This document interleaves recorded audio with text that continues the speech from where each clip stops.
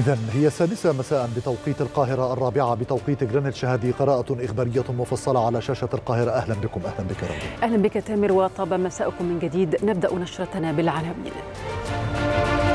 سقوط تسعة شهداء من عائلة واحدة بينهم ستة أطفال في غارة للاحتلال على رفح جنوبي القطاع. الرئيس الفلسطيني يعلن إعادة النظر في العلاقات مع واشنطن بعد الفيتو الأمريكي في مجلس الأمن. قتلى وجريحان في غارة إسرائيلية على جنوب لبنان وحزب الله يستهدف مواقع لجيش الاحتلال.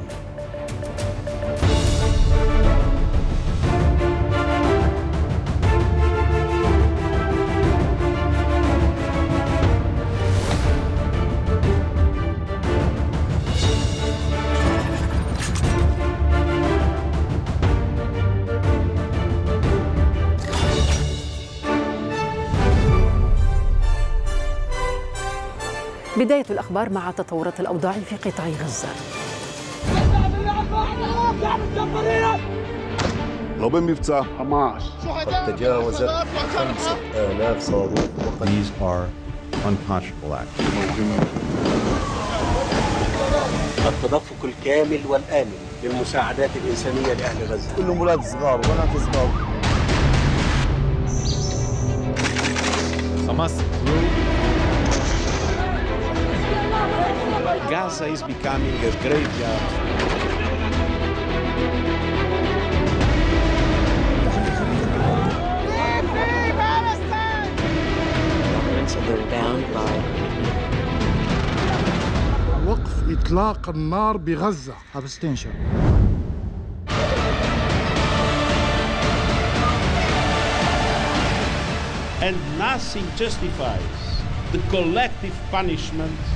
of the Palestinian people. استشهد تسعة فلسطينيين من عائلة واحدة في هجوم نفذه طيران الاحتلال الإسرائيلي على مدينة رفح الفلسطينية جنوبي قطاع غزة. هذا وقد أكدت وسائل أعلام فلسطينية بأن مستشفى النجار في رفح استقبل الشهداء وهم خمسة أطفال تتراوح أعمارهم ما بين سنة وسبع سنوات. وفتاة تبلغ ست عشرة سنة وامرأتان ورجل. أعلنت وزارة الصحة الفلسطينية ارتكاب جيش الاحتلال لأربع مجازر ضد العائلات في قطاع غزة راح ضحيتها 37 شهيدا و68 مصابا خلال الأربع والعشرين ساعة الماضية. وفي بيان لها ذكرت وزارة الصحة الفلسطينية أن حصيلة العدوان الإسرائيلي على القطاع ارتفعت إلى 34049 شهيد و67900 مصاب وواحد منذ السابع من أكتوبر الماضي. وأكدت الصحة الفلسطينية أن عددا من الضحايا لا يزال تحت ركام وفي الطرقات وأن طواقم الإسعاف والدفاع المدني لا تستطيع الوصول إليهم. أفاد التقارير بأن شركة ميتا زودت جيش الاحتلال بمعلومات حول أشخاص محددين من حركة حماس ممن يستخدمون تطبيق الواتساب هذا وقد ذكرت التقارير بأن هذه المعلومات تساعد جيش الاحتلال في تحديد أماكن الأشخاص المنتمين للحركة بمساعدة نظام الذكاء الاصطناعي لافاندر وتقوم بتصفيتهم.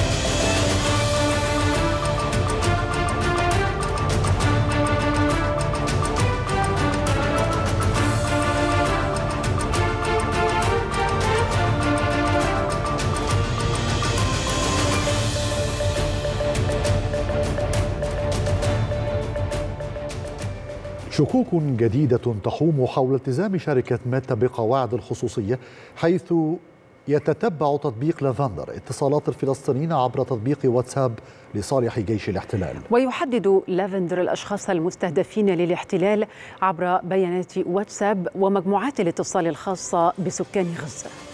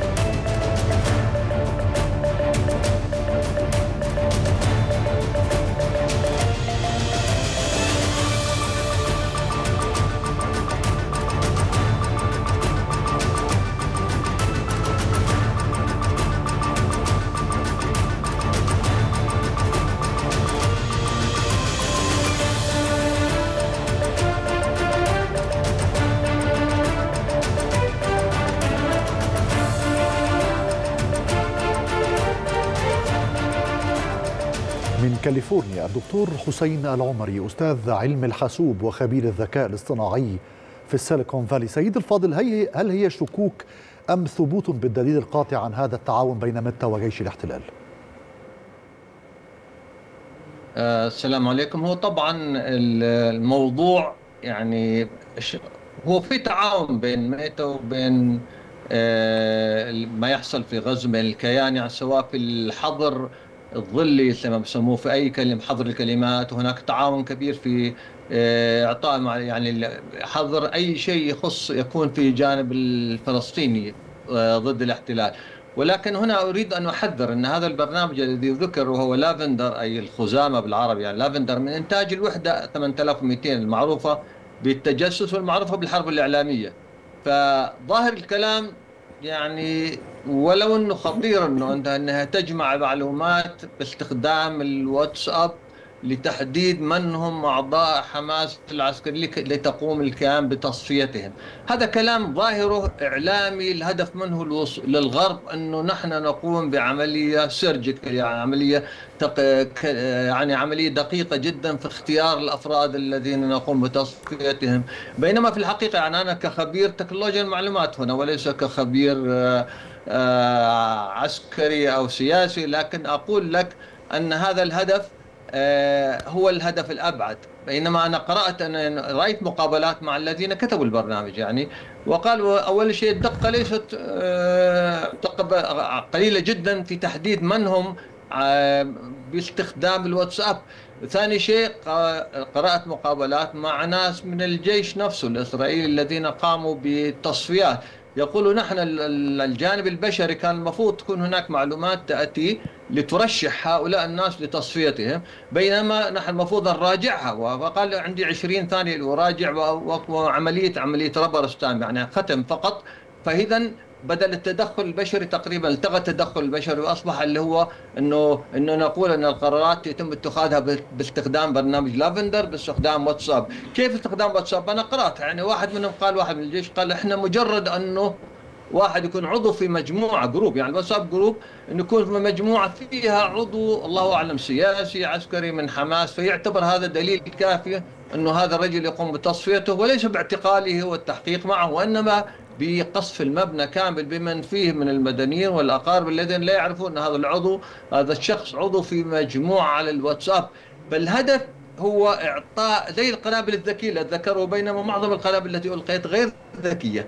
فاذا هذا الهدف اللي يعطي صورة جميلة في الغرب أن ما يقومون به هو تصفيات بناء على استخدام الذكاء الاصطناعي. وأنا أقول لك من الآن الذكاء الاصطناعي بعيد كل البعد عن ما يقام ما تقوم به من اغتيالات لأن هذا لا يستخدم بالضبط في تحديد ولا يستطيع أن يحدد من هم القادة ومن هم العسكريون ومن هم السياسيون ومن يتعاطف معهم قلبا أو قالبا وهكذا لأن تقريبا كل أهل غزة يتعاطفون مع مع حماس ومع مع المقاومة بشكل عام لأن هناك أعضاء أخرى من المقاومة سبعة سبعة يمكن أو أكثر مجموعات.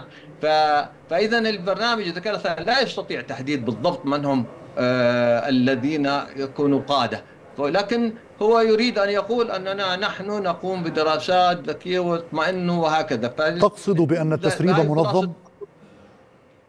نعم تقصد بأن التسريب حول هذه الأزمة منظم؟ مقصود؟ يعني آه بالنسبة قصدي أنا أقول البرنامج طبعا في سيدي أنت تحدثت في بداية الحديث بأن الجزء الدعائي هو الجزء الغالب على هذا التسريب الذي يتحدث عن تعاون بين هذه الشركة وهذا ما هنا تفضل. و... ولا يستطيع أصلا لا يستطيع البرنامج باستخدام واتساب أن يحدد من هم العسكريون ومن هم القادة لا يستطيع ابدا. وهذه كلها معلومات كاذبة وأنا نعرف أن كثير من المعلومات خرجت كانت عبارة عن تلفيق معلومات و... ولكن هناك من سيصدقها إنه لا نستخدم يعني زي تهمه يحبونها هم هذه التهمة يح...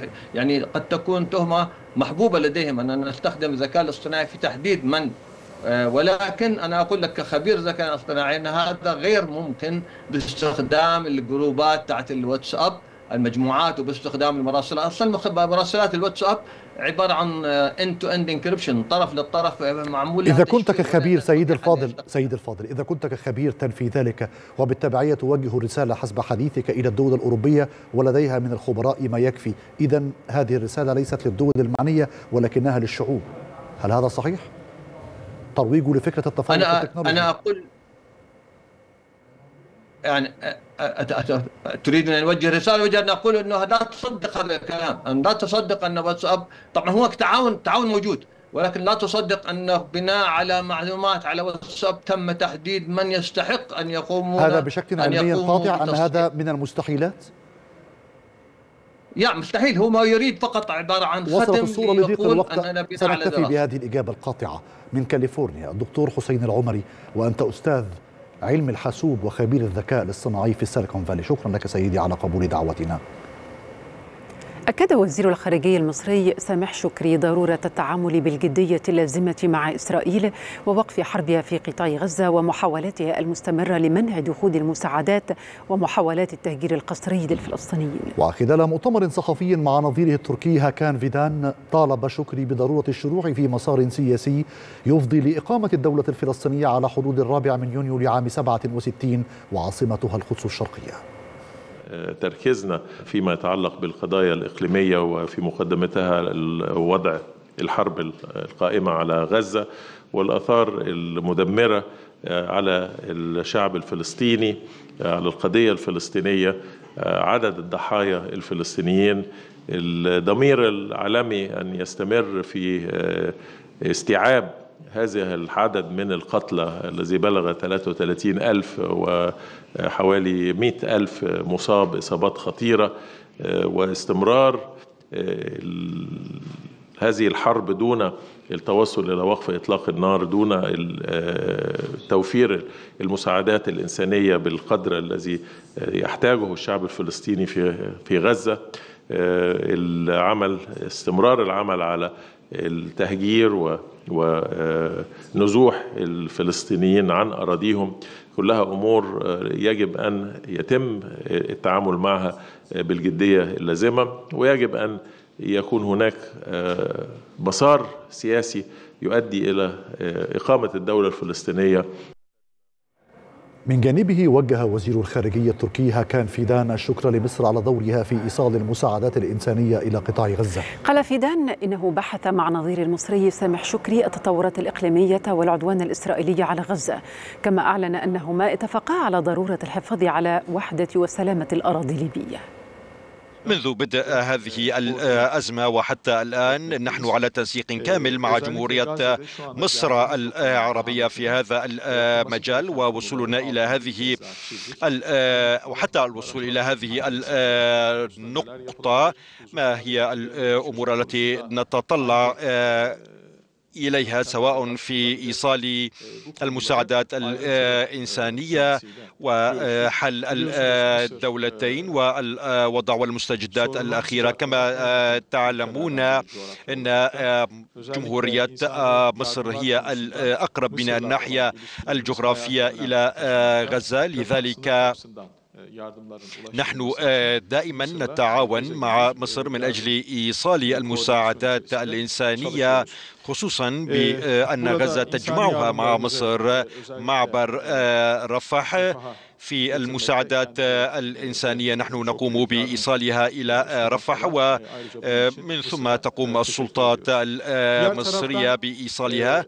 بهذه المناسبة أشكر جميع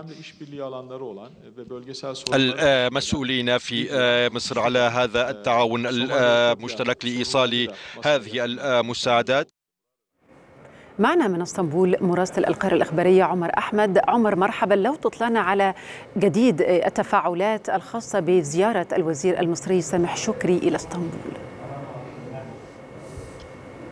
نعم رغدة مساء الخير. الوزير وزير الخارجية المصري سامح شكري قبل حوالي ساعة من الآن التقى بالرئيس رجب طيب أردوغان في مكتبه في قصر دول مباحث في إسطنبول وتناول معه يعني الأوضاع في مصر الأوضاع في فلسطين وفي غزة بشكل خاص في هذا اللقاء. وبالإضافة إلى تناول موضوع التعاون والعلاقات الثنائية والمجلس الاستراتيجي عالي المستوى مجلس التعاون الاستراتيجي عالي المستوى بين تركيا ومصر بالإضافة إلى طبعا تبادل وجهات النظر فيما يخص الأوضاع الإقليمية. بكل الأحوال وزير الخارجية المصري ونظيره التركي هاكان فيدان كان قد أكدا على أن القضية الفلسطينية وكذلك موضوع تهجير الفلسطينيين هو خط أحمر لا يمكن القبول به وطالبوا المجتمع طلباء المجتمع الدولي بتحمل مسؤولياته تجاه القضية الفلسطينية وتجاه الأوضاع المأساوية الموجودة في قطاع غزة. وزير الخارجية المصري سامح شكري قال بأن الدورين والبلدين تركيا ومصر مصالحهما لا لا تتقاطع فحسب وإنما تتكاملان حاليا وبذلك يعني يضع نقطة أساسية في موضوع أن التعاون ما بين تركيا ومصر يتقدم ب طبعا خطى متسارعة جدا ربما نشهد خلال الأيام القادمة والأسابيع القادمة حسب ما يقول خبراء أتراك بان هذا التعاون قد يتطور إلى شراكة وتعاون مجدي ونافع في حل قضايا المنطقة وحل الأزمات وخصوصا في فلسطين يعني وصولا إلى التوترات الموجودة في المنطقة وإنهاء الحروب. طبعا في هذا الإطار قبل لقاء وزير الخارجية الرئيس أردوغان قبل لقائه وزير الخارجية المصري كان قد التقى رئيس المكتب السياسي لحركة حماس وبعد ذلك قام بلقائه. هنا يقول الخبراء الأتراك بأن تركيا تتحضر لنوع من لعب الدور الأكبر أكبر مما كان في السابق أكبر مما كانت تنادي به تركيا. تركيا منذ البداية كانت تقول بأنها تسعى وتريد أن تلعب دور الضامن وخصوصا الضامن للجانب الفلسطيني والفصائل الفلسطينية وحركة حماس بشكل خاص. ربما تركيا حاليا تتحضر للعب دور أكبر من ذلك وتتحضر لتقديم مقترحات على الأقل يمكن لها لهذه المقترحات أن يتم دراستها وبالتالي تمتلك حسب ما يقول الخبراء الأتراك. طبعا تمتلك تركيا ربما إمكانية الضغط على الأطراف المتصارعة خصوصا نحن نتحدث عن إسرائيل وحماس في للضغط عليهما في موضوع نعم. إنهاء هذه الحرب. طبعا من من ناحية وزير الخارجية التركي إبراهيم وزير الخارجية التركي هاكان فيدان كان قد تشكرت مصر على مساهمتها الفعالة في موضوع إيصال المساعدات. نعم وأكد بأن كل المساعدات يتم إرسالها إلى مصر وعبر السلطات المصرية يتم إدخالها إلى قطاع غزة. شكرا جزيلا لك من إسطنبول مراسل القاهرة الإخبارية عمر أحمد. عقد البرلمان العربي جلسته العامة الثالثة من في دور الانعقاد الرابع من الفصل التشريعي الثالث وذلك بمقر الأمانة العامة للجامعة العربية بالعاصمة المصرية القاهرة. هذا وناقش المشاركون في الجلسة تطورات الأوضاع في المنطقة ورؤى البرلمان لحل الأزمات الراهنة كذلك مشروعات القوانين التي يعكف البرلمان على إعدادها وتنفيذها بالإضافة إلى مناقشة التصعيد في المنطقة وأزمة الاحتلال الإسرائيلي في الأراضي الفلسطينية.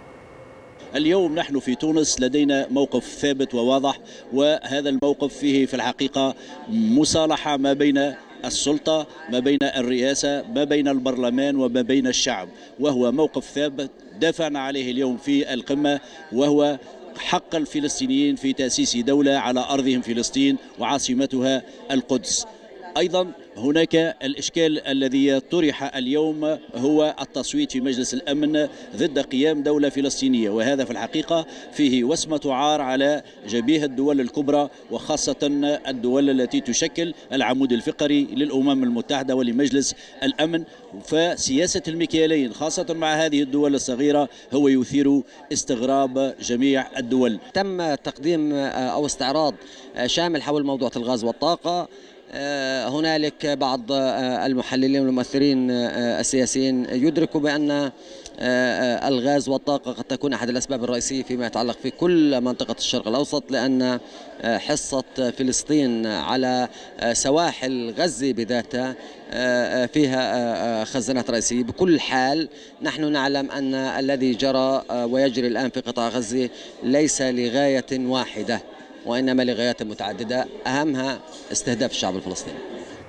في العاصمة الألمانية برلين نظم المئات مظاهرات احتجاجا على المذابح التي يرتكبها جيش الاحتلال في قطاع غزة. هذا وقد رفع المتظاهرون لافتات منددة باستمرار الاحتلال لمذابحه للشهر السابع على التوالي كما دانوا ممارسات الحكومة الإسرائيلية الرافضة لوقف إطلاق النار وتنفيذ صفقة لتبادل المحتجزين.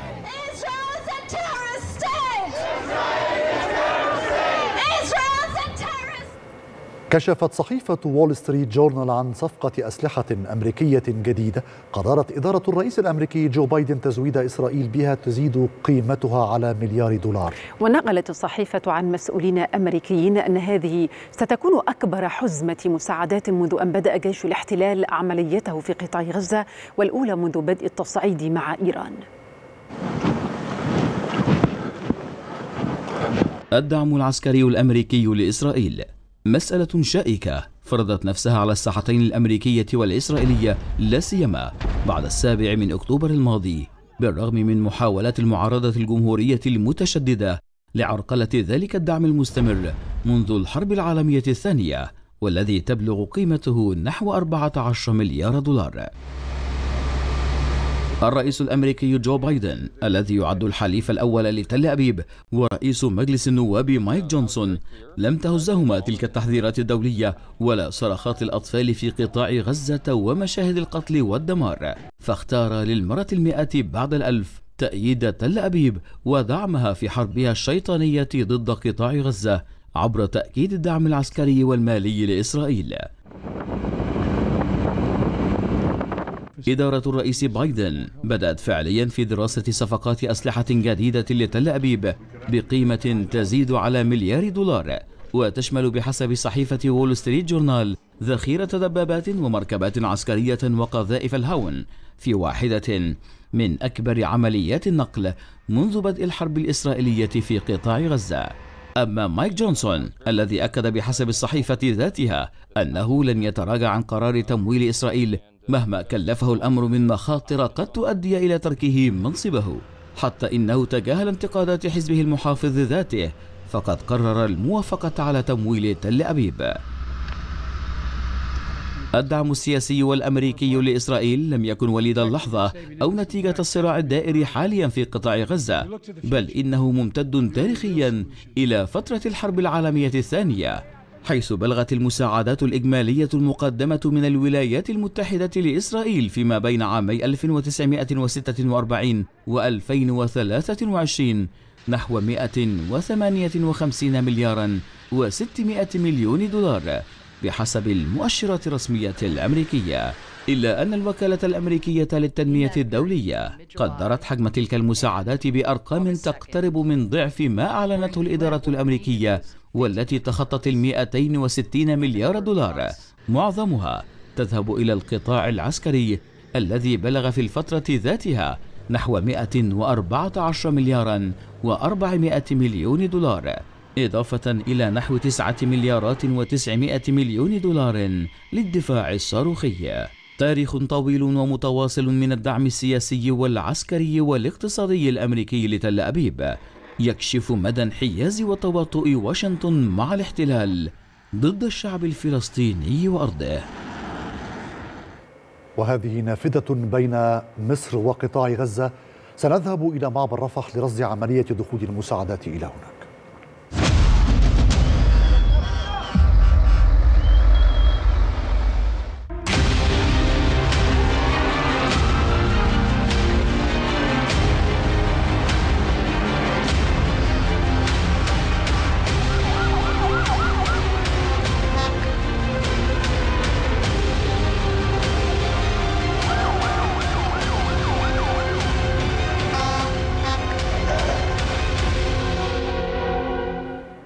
أفاد مراسلنا بأن إجمالي عدد الشاحنات المساعدات التي وصلت إلى قطاع غزة من من منفذي رفح وكرم أبو سالم خلال الفترة من الأول من أبريل وحتى السبت الموافق العشرين من أبريل بلغت 3315 شاحنة. وأشار مراسلنا إلى دخول 105 شاحنات وقود إلى قطاع غزة عبر معبر رفح تضم 75 شاحنة غاز و29 شاحنة سولار إضافة إلى شاحنة بنزين.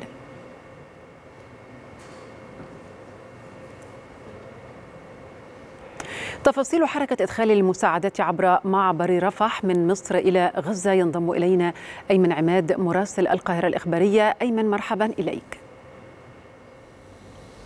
نعم رغدة. سأستهل الحديث بالتصريح وزير الخارجية التركي اليوم خلال مؤتمر صحفي مع نظيره المصري سامح شكري بأنقرة حينما أشار بأن مصر تلعب دورا محوريا في إرسال المساعدات الإنسانية إلى قطاع غزة. وهذا ما نرصده لحظيا من خلال تواجدنا هنا يعني أمام معبر رفح على مدار الفترات السابقة. نتحدث بلغة الأرقام كما تم الإشارة بأن مصر تمكنت خلال العشرين يوم السابقة بداية من إبريل أن ترسل 3300 و15 شاحنة من شاحنات المساعدات الإنسانية إلى قطاع غزة بالإضافة إلى 105 105 شاحنات من من المحروقات. وبالتالي هذا العدد الكبير الذي يأتي تكليلا لما تقدمه مصر وما تقوم بمصر بالضغط على الجانب الإسرائيلي في إرسال هذه المساعدات الإنسانية في ظل العراقيل المستمرة والكثيرة التي تفرضها إسرائيل على إرسال المساعدات الإنسانية. بالمناسبة بأن هذا اليوم يعتبر يعني من بداية كل أسبوع هو يعتبر من العراقيل التي تفرضها إسرائيل نظرا لأن المعابر الإسرائيلية يعني تعطى عطلة رسمية في هذا اليوم وبالتالي تؤثر تأثيرا مباشرا على أعداد الشاحنات التي تتدفق عبر معبر رفح أو المعابر المختلفة إلى الأراضي الفلسطينية. نتحدث بأن هذا اليوم تحديدا تمكنت أو تمكن معبر رفح من إرسال 60 شاحنة من شاحنات المساعدات الإنسانية. وهذا العدد يأتي من الأعداد التي تبقت يوم أمس بعدما خضعت لعملية التدقيق والمراجعة في المعابر الإسرائيلية لتأخذ دورها في هذا اليوم ولتعبر إلى الأراضي الفلسطينية بالإضافة إلى أربع شاحنات للغاز. هذا العدد الكبير الذي تقوم به مصر يوميا بإرسال المساعدات الإنسانية هو يأتي كما أشرت للجهد المستمر الذي تبذله مصر على مدار الساعة لإرسال المساعدات الإنسانية لم يقتصر الأمر على ذلك ولكن هناك دور آخر في استقبال الجرحى والمصابين نتحدث اليوم عن استقبال يعني 42 من حالات الإصابة من خلال معبر رفح تمكن الهيئة أو هيئة الإسعاف تمكنت هيئة الإسعاف المصرية من.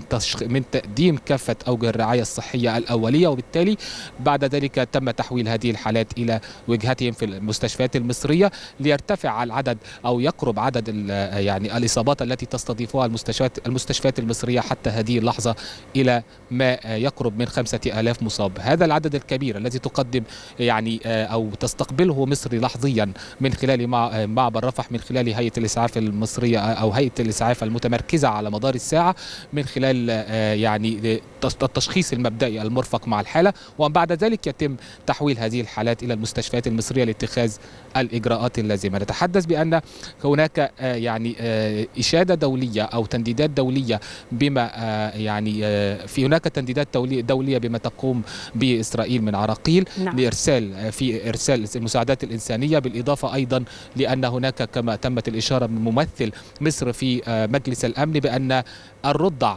يموتون في المناطق الشمالية بقطاع غزة بسبب الجوع والشاحنات المساعدات تتكدس أمام المعبر وهذا ما نرصده بأن مئات الشاحنات تتكدس أمام معبر رفح والمعابر المختلفة تنتظر حتى تمر بالطريق الشريط الحدودي لتواصل طريقها إلى منطقة العوجة لتخضع لعملية التدقيق في منطقة العوجة أو في المعابر الإسرائيلية وبعد ذلك تعود إلى معبر رفح أو المعابر المختلفة لتواصل نعم. طريقها إلى الأراضي الفلسطينية شكرا جزيلا لك من معبر رفح أيمن عماد موفد القاهرة الإخبارية. تواصل مصر جهودها في إعداد وتجهيز ونقل المساعدات الإنسانية ومواد الإغاثة العاجلة عبر الجسر الجوي الممتد على مدار الأسابيع الماضية. هذا وتقوم طائرات النقل العسكرية المصرية بتنفيذ طلعاتها اليومية من مصر والأردن لإسقاط المساعدات على المناطق التي يصعب الوصول إليها بقطاع غزة وفقا لمنظومة عمل دقيقة وحسابات معقدة بما يضمن وصولها لمناطق الإنزال المخططة شمال قطاع غزة. يأتي ذلك مع تواصل الجهود المصرية والدولية لضمان إنفاذ المساعدات بصورة كافية ومستدامة عبر معبر رفح البري الداعم للفلسطينيين بالقطاع.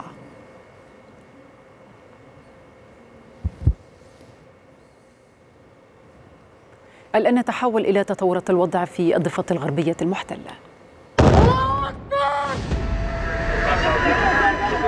فجأة ما سمعنا الحروف طلع شفنا أشلاء فإجا الثاني بده يسع فضربوه. الاحتلال الإسرائيلي مجرم بتهمة التجويع كلهم فدى القدس.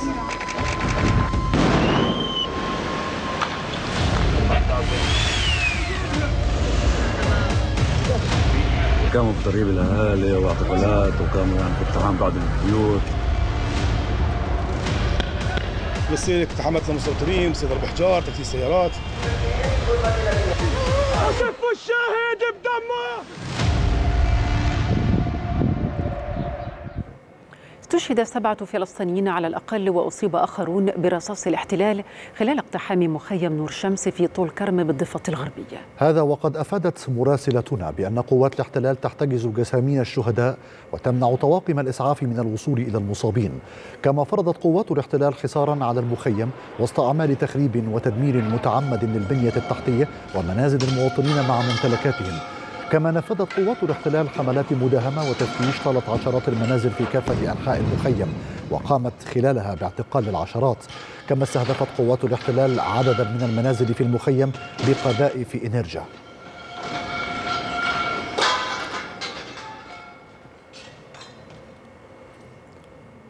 تصعيد خطير للاحتلال الإسرائيلي داخل الضفة الغربية المحتلة بعدما شنت قوته هجوما مكثفا على مخيم نور شمس إضافة إلى عدد من بلدات أخرى داخل الضفة الغربية المحتلة. وقصف الاحتلال المخيم والبلدات بقذائف إنرجا التي تصل إلى 550 مترا كما شن اشتباكات مباشرة مع المواطنين أسفرت عن استشهاد وإصابة العشرات. تصعيد جديد للاحتلال خارج نطاق قطاع غزة. استهدف الضفة الغربية التي شهدت مؤخرا أسوأ لياليها. عقب اقتحام القوات الإسرائيلية لمخيم نور شمس في طول كرم فرضت خلاله حصارا شديدا على المخيم وسط أعمال تخريب وتدمير متعمد للبنية التحتية ومنازل المواطنين وممتلكاتهم. التصعيد لم يتوقف عند الانتهاكات والتخريب بل وصل إلى حد استخدام قنابل إنيرجا والتي يصل مداها إلى أكثر من 550 مترا لا سيما المعززة صاروخيا منها. وهو ما أسفر عن استشهاد سبعة فلسطينيين على الأقل وإصابة واعتقال العشرات. الضفة وإن كانت تشهد الكثير من الانتهاكات المتكررة إلى أنها ومنذ السابع من أكتوبر الماضي تحولت لبؤرة مستعرة من الاشتباكات جراء التصعيد المتواصل لقوات الاحتلال. لكن فيما يبدو أن تل أبيب وآلتها العسكرية قررتا رفع مستوى تلك الاشتباكات إلى أقصاه وذلك بعد استخدامها لقنابل الإنرجا.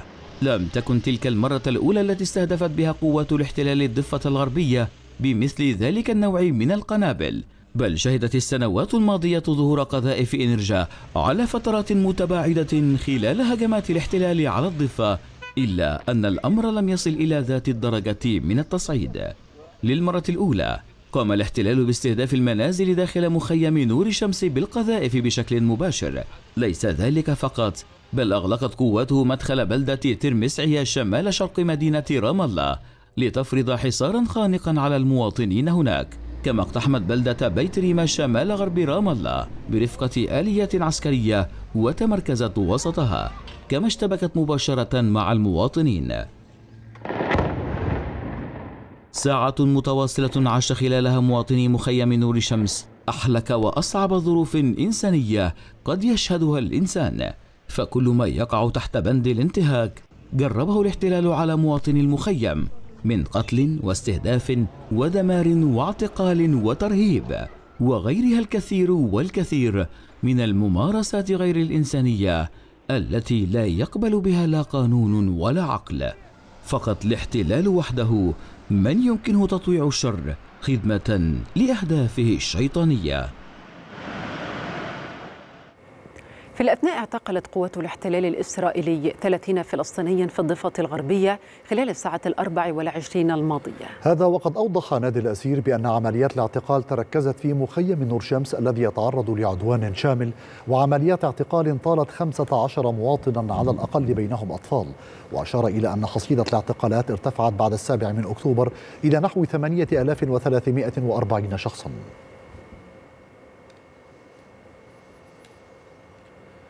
قال الرئيس الفلسطيني محمود عباس إن الفيتو الأمريكي بمجلس الأمن الدولي ضد منح العضوية الكاملة لفلسطين مخيب للآمال وغير مسؤول. وأوضح عباس أن استخدام الفيتو يشكل عدوانا سافرا على حقوق الشعب الفلسطيني وتحديا لإرادة المجتمع الدولي.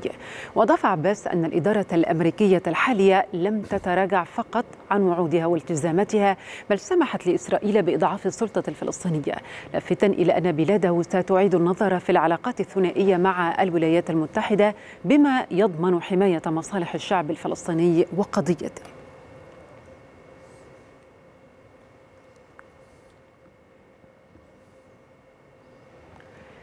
وفي أخبارنا الأخرى منذ أسبوع أعلنت إيران أنها أطلقت أكثر من 300 صاروخ وطائرة مسيرة مستهدفة إسرائيل التي أعلنت بدورها التصدي للهجوم الإيراني. وفي المقابل تحدثت تقارير إسرائيلية وأمريكية عن توجيه إسرائيل ضربة داخل إيران فجر الجمعة لكن طهران تحدثت عن انفجارات وقعت في سماء مدينة أصفهان ولم توجه أصابع الاتهام لأي جهة المزيد عبر تقنية الواقع المعزز مع الزميلة جمان هاشم. ليل السبت الأحد منتصف أبريل. مر الوقت على العديد من منطقة الشرق الأوسط وحتى العالم وهو يراقب شاشات التلفاز التي توحدت في أخبارها العاجلة ونقلت خبراً مفاده بدء الهجوم الإيراني على إسرائيل.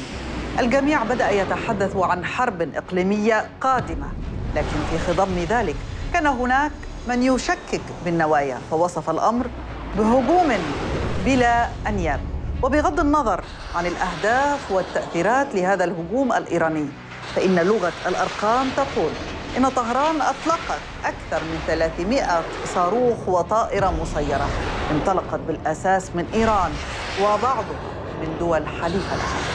اذا نحن نتحدث عن 170 طائرة مسيرة. وأيضا استخدم الإيرانيون في هذا الهجوم 30 صاروخا من نوع كروز. وبحسب التقديرات فإن ما وصل إلى إسرائيل 100 صاروخ فلسطيني انفجر أغلبها في الجو وفقا للرواية الإسرائيلية والتي تتقاطع تماما مع ما قالته إيران. ظهرت حرب الصواريخ فوق المسجد الأقصى وقامت إسرائيل بمواجهة الهجوم الإيراني بواسطة ثلاث دوائر دفاعية هي طائرات إف 35 والتشويش على منظومات التوجيه التي تستخدمها إيران وبطاريات الدفاع الأرضية مثل القبة الحديدية ومقلاع داوود.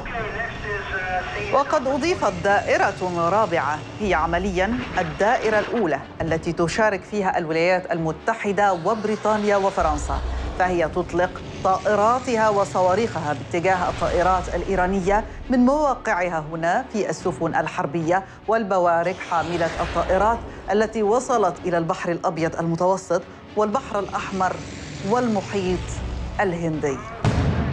وفي فجر التاسع عشر من أبريل تحدثت تقارير إسرائيلية وأمريكية عن توجيه إسرائيل ضربة داخل إيران لكن طهران لم تؤكدها مكتفية بالحديث عن انفجارات وقعت في سماء مدينة أصفهان ولم توجه أصابع الاتهام لأي جهة.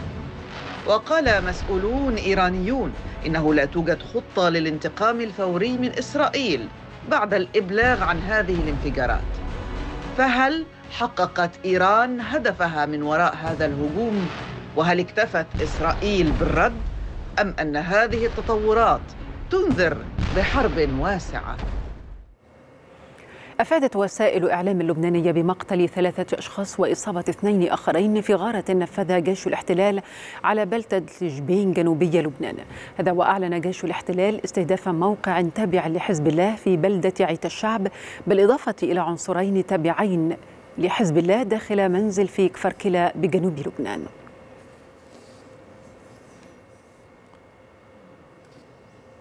أفادت تقارير دولية بأن جائحة من الأوبئة والأمراض عادت تهدد سكان اليمن مرة أخرى.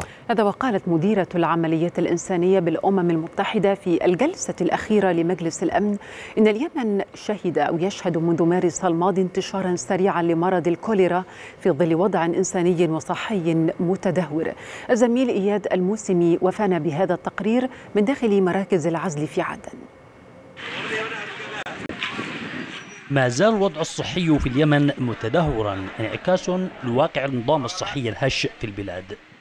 سنوات الحرب ساهمت في إخراج 50% من المنظومة الصحية وتأثرت الخدمات بشكل عام وفق تقارير رسمية. تسع سنوات من الحرب الذي دائرة في اليمن وأدت إلى تدمير البنية التحتية وأيضا خروج أكثر من 50% من مستشفياتنا ومراكزنا الصحية عن الخدمة. أيضا الكوادر الذي هاجرت من نتيجة المشاكل اللي حاصلة في الشمال. هذه الأسباب وغيرها ساهمت في عودة الأمراض والأوبئة القاتلة. فالكوليرا تطل من جديد مخلفة هؤلاء الضحايا. في هذا المخيم يواجه هؤلاء المرضى مصيرهم بينما السلطات تحذر من تفشي الوباء إلى الحد الذي يصعب السيطرة عليه. ليه من ثالثة الإيد؟ كانت مريضة وديتها عند الدكتور صلحت لها فحوصات وفترة إن هي كده هدان مع العلاج هداء مع العلاج وترجع ودحين أو رجعت عالجتها أمس. سويت لها دريبات. كانت تطرش من أول أمس في الليل لما أمس الصباح. سويت لها دريبات وهدأت. لما أمس بالليل رجعت سلو طرش للآن وهي سلو طرش فرق الاستجابة والترصد الوبائي تعمل على مدار الساعة. ولدينا مركز مجهز. نناشد الأخوة في المنظمات للعمل بشكل مكثف مع بقية الأطراف لأن قضية كوليرا هي ليست من صنع الصحة.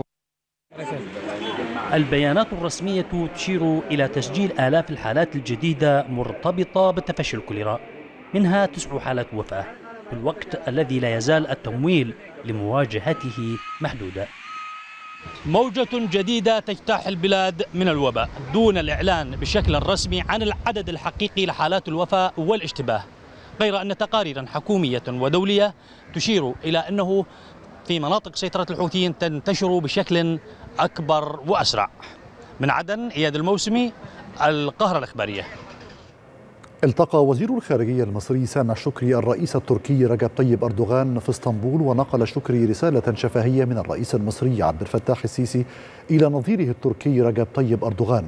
الخارجية المصرية قالت إن اللقاء يعكس الحرص المتبادل لدى الدولتين على الارتقاء بالعلاقات الثنائية في كافة المجالات وتعزيز آليات التشاور والتنسيق بشأن القضايا الإقليمية ذوات الاهتمام المشترك.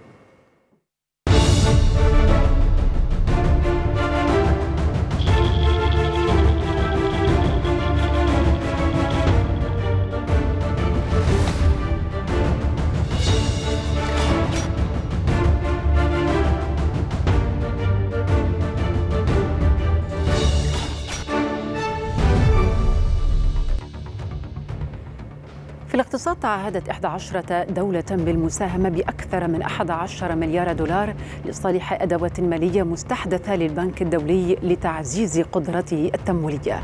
ومن خلال الاستفادة من الموارد التي تم التعهد بها ينبغي للبنك أن يكون قادرا على تقديم ما يصل إلى 70 مليار دولار في هيئة قروض جديدة على مدى فترة تمتد لعشر سنوات. رجح محافظ بنك اليابان كازو أويدا رفع أسعار الفائدة إذا استمر التضخم في الارتفاع وأكد بأن القرارات المستقبلية ستعتمد على هذه البيانات. وأكد كازو أويدا الحاجة إلى الإبقاء على ظروف مالية تيسيرية نظرا لأن التضخم الأساسي لا يزال أقل إلى حد ما من هدف بنك اليابان المركزي الذي يبلغ 2% وأضاف بأن البنك يراقب نمو الأجور وارتفاع أسعار الخدمات لضمان استقرار التضخم.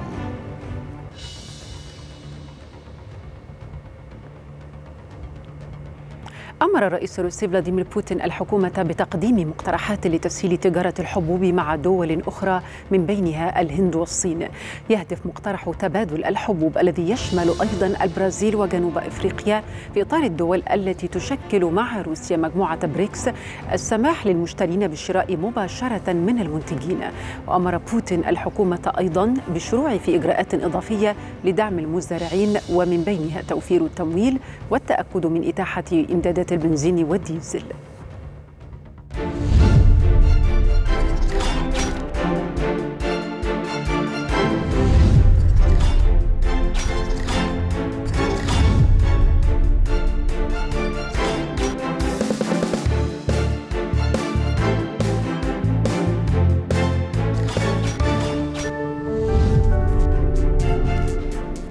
ومن بعض أنباء الرياضة تعادل الأهلي المصري مع مضيفه فريق مازيمبي الكونغولي بدون أهداف. في المباراة التي جمعت بين الفريقين ضمن منافسات ذهاب نصف نهائي بطولة دوري أبطال إفريقيا لكرة القدم. وتقام مباراة الإياب بين الأهلي ومازيمبي في التاسعة مساء يوم الجمعة القادم بتوقيت القاهرة على استاد القاهرة الدولي بحضور خمسين ألف متفرج. والآن نذكر بأهم أنبائنا فهذا نقطة ختام تسعة شهداء من عائلة واحدة بينهم ستة أطفال في غارة للاحتلال على رفح الفلسطينية الرئيس الفلسطيني يعلن إعادة النظر في العلاقات مع واشنطن بعد الفيتو الأمريكي في مجلس الأمن الدولي. ثلاثة قتلى وجريحان في غارة إسرائيلية على جنوب لبنان وحزب الله يستهدف مواقع لجيش الاحتلال.